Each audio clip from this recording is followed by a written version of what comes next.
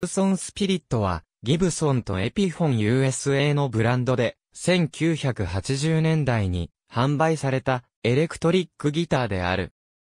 スピリットは1982年から1987年にかけてテネシー州、ナッシュビル及びミシガン州カラマズーの工場で製造された知名度の低いモデルである。当初はカラマズー工場でエピフォン名義で製造された。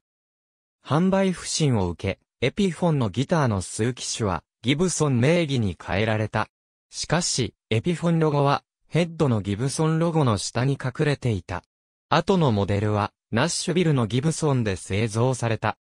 またスピリットはギブソンレスポールジュニアダブルカッターウェイモデルを模したものだが、現代的なシングルコイル、ハムバッカーピックアップの使用、カッターウェイが22フレットでなく20フレットの位置である、という大きな違いがある。すべてのスピリットは、フラットトップ、バックである。コントロール用の穴は、リア側に開けられている。上部ホーンは、下部より、若干長いダブルカッターウェイ。22フレットのセットネックで、フィンガーボードには、ドットインレイ、フレームメープル、タイガーメープルトップを、クリア、サンバースト仕上げしたモデルがある。トラストロッドカバーには単に、スピリット、あるいはエピフォン製には、 Spirit made by Gibson と記されている。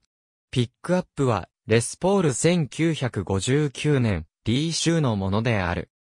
このピックアップには、白いコイルのものもあり、ダーティ、フィンガーズと間違われることがあるが、このピックアップは、中出力、アルニコピックアップであるのに対し、ダーティフィンガーズは、高出力セラミックピックアップである。初期モデルは、ネック側ストラップピンが、ネックジョイントの裏側に付けられていたが、後のモデルでは、上部ホーン先に移された。チューナーは、クルーソンタイプの、チューリップノブだが、XPL 等でエンクローズドチューナーも使用されている。このモデルの特徴は、リア側に一つのハムバッカーを持つことである。ヘッドはギブソン及びエピフォンの標準スタイルである、両サイドに3つのペグを配置したもの。べっ甲色のピックガードが、ネックジョイント部をカバーし、ボディ上部を保護する。初期モデルは、ポプラ材と言われるが、後期は、マホガニーか、アルダーで、トップにメープルを使用したものもある。また初期モデルは、メープルネックである。オリジナルのブリッジは、巻き付け式、テールピースに6弦独立のブラスサドルの一体型で、ある、シャラー455。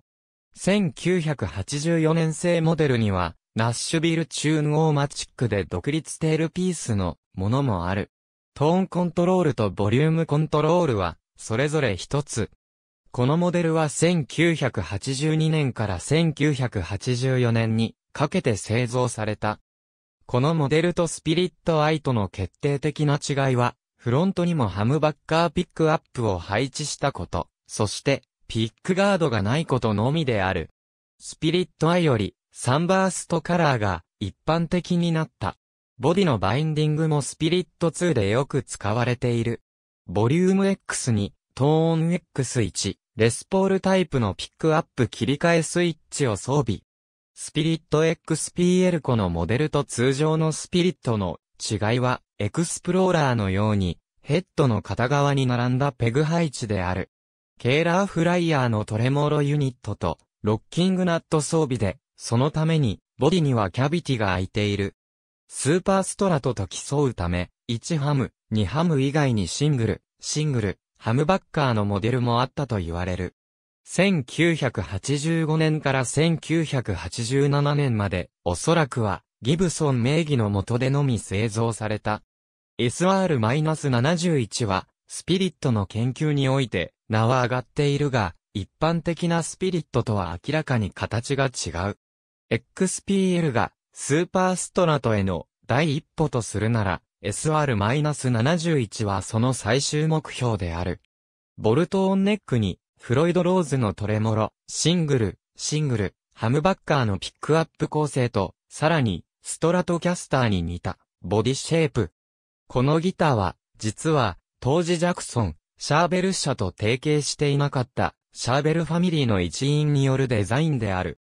ギブソン製の SR-71 を思い起こせる、モデルの WRC、U2、US-1 等は、すべてスーパーストラトである。ありがとうございます。